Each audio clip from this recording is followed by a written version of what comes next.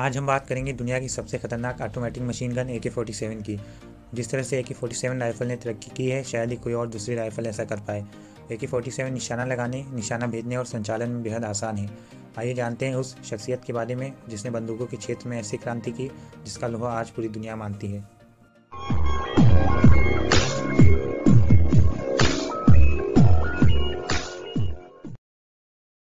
ए K forty seven का पूरा नाम ऑटोमेटिक क्लाशनिको फोर्टी सेवन है। फोर्टी सेवन का मतलब यह राइफल सन उन्नीस सौ सैंतालीस में बनी थी।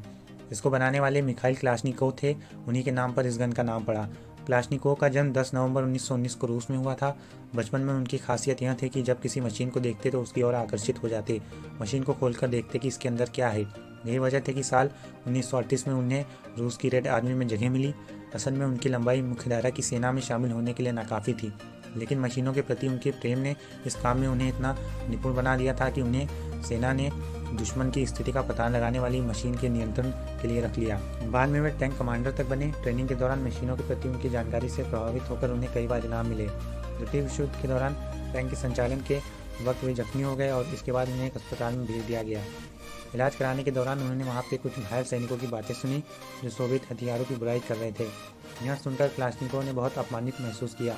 और मन ही मन में ठाना कि वे रूस के सैनिकों के लिए ऐसे हथियारों का निर्माण करेंगे, जिसको चलाने के बाद वे अपने देश के लिए गर्व की अनुभूति करेंगे। यहीं से ए फोर्टी सेवन की न्यू पड़ी।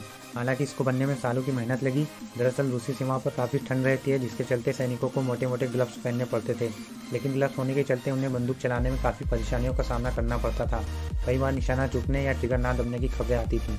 कुछ लोग क्लाशनिकों को सिरफिरा या सनकी समझते थे, लेकिन उनकी धारणा बिल्कुल गलत थी। रूसी सेना में जनरल का पद पाने वाले क्लाशनिको असल में एक आविष्कारक थे। कोई मशीन पाने के बाद उनका दिमाग किसी पढ़े लिखे इंजीनियर से भी तेज चलता था। जब उन्होंने बंदूक बनाने की ठानी तो वे सेना का हिस्सा थे। इसलिए उन्हें रेड आर्मी के मुख्य तोपखाने, निदेशालय की अहम भूमिकाओं में रखा गया। साल उन्नीस सौ चौवालीस में उन्होंने एक गैस से चलने वाला सेवन पॉइंट एम काटे वाला हथियार बनाया।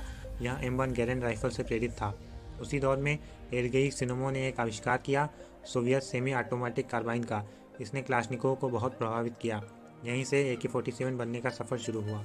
साल उन्नीस सौ सैंतालीस में क्लाशनिको ने ए के फोर्टी सेवन की पहली राइफल बना दी, लेकिन तब इसे मान्यता नहीं मिली। क्लाशनिको खुद सेना का हिस्सा थे, इसलिए उन्हें पता था कि उन्होंने क्या बनाया है और अपने आविष्कार को कैसे रूसी सेना के लिए दिया जाए। साल उन्नीस सौ उनचास में रूसी सेना ने उनकी बनाई बंदूक का अनुभव किया और इसे भारी मात्रा में बनाने का आदेश दे दिया। दूसरी ओर उनके आविष्कार से बनी बंदूक की श्रृंखला शुरू हुई। ए के फोर्टी सेवन के बाद ए के एम ए के सेवेंटी फोर ए के वन ज़ीरो वन ए के वन ज़ीरो थ्री ए के one zero five A K twelve R P K R P K machine gun से होते हुए अब यह सबसे खतरनाक और एडवांस गन ए के टू ज़ीरो थ्री तक पहुँच गई है, जो भारत में बनाई जाएगी। एक आंकड़े में ऐसे दावे किए गए हैं कि ए के फोर्टी सेवन श्रृंखला की बंदूकों को अफ़गानिस्तान के आतंकी संगठन तालिबान ने आतंक फैलाने में सबसे ज़्यादा इस्तेमाल किया। इस बात ने क्लाशनिकों को काफ़ी आहत किया। लंबी बीमारी के बाद क्लासनिको की दिसंबर 2013 में मौत हो गई। अपने मरने के कुछ दिन पहले उन्होंने कुछ लेख लिखा था। साल 2014 में एक प्रतिष्ठित अखबार ने उनके लेख को छापा, जिसके अनुसार वे मानसिक तौर पर बहुत स्वस्थ नहीं थे। शारीरिक बीमारी के अलावा वे खुद को उन सब लोगों की मौत का जिम्मेदार मानते थे, जिनकी हत्या उनके द्वारा बनाई गई गन से हुई थी। आइए जानते हैं क्यों ए के फोर्टी सेवन राइफल है इतनी खास। उन्नीस सौ सैंतालीस में पहली ए के फोर्टी राइफल बनी और उन्नीस के बाद से अब तक यहाँ सोवियत और रूसी सेना की स्टैंडर्ड राइफल बनी हुई है। अफ़गानिस्तान से लेकर जिम्बाब्वे तक और दुनिया के लगभग 106 देशों की मिलिट्री और कुछ स्पेशल फोर्सेज आज ए के फोर्टी का प्रयोग करती हैं। ए के फोर्टी राइफल दुनिया की अकेली ऐसी राइफल है जो किसी भी वातावरण में काम कर सकती है मतलब पानी, रेत या मिट्टी कहीं पर भी। ए के फोर्टी दुनिया की सबसे ज़्यादा अवैध रूप से बेची जाने वाली राइफल है। ए के फोर्टी गन की लाइफ 6000 से 15000 राउंड तक होती है। ए के की एक मैगजीन में 30 राउंड होते हैं। ए के फोर्टी सेवन एक गैस संचालित सिलेक्टिव फायर राइफल है। सिलेक्टिव फायर मतलब शूटर चाहे तो एक एक करके फायरिंग कर सकता है या फिर एक ही बार में पूरी मैगजीन खाली कर सकता है। आधुनिक A K forty seven rifle पर ग्रेनेड लॉन्चर भी जोड़ा जा सकता है।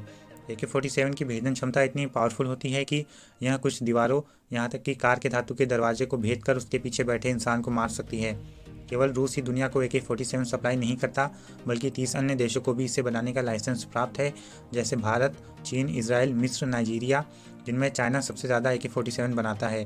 किसी भी देश का आम नागरिक अपने पास ए के फोर्टी सेवन राइफल नहीं रख सकता, ऐसा करने पर उसे जेल हो सकती है। जितनी मौतें आज तक हवाई हमलों और रॉकेट हमलों से भी नहीं हुई, उससे ज़्यादा मौत ए के फोर्टी सेवन से हो चुकी है। ए के सेवन राइफल से हर साल लगभग ढाई लाख लोगों को गोली मारी जाती है। ए के फोर्टी सेवन का नाम Guinness Book of World Records में शामिल है, क्योंकि ये दुनिया का सबसे ज़्यादा उपयोग होने वाला हथियार है। आज की तारीख में दुनिया में करीब 10 करोड़ ए के फोर्टी सेवन राइफल हैं मतलब हर सत्तर लोगों पर एक। मिखाइल क्लाशनिको ने अपने सबसे बड़े आविष्कार ए के फोर्टी सेवन की बिक्री से कभी एक भी पैसा नहीं कमाया। आपको हमारा ये वीडियो कैसा लगा, कमेंट करके ज़रूर बताएँ। अगले वीडियो में हम जानेंगे किसी और नए ब्रांड के बारे में।